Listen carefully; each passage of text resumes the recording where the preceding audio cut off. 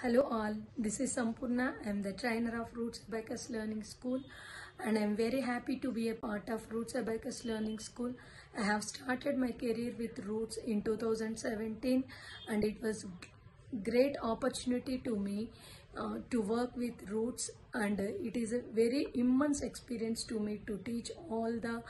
uh, small to teach all the abacus method to the smallest kids and it was very great journey to me thank you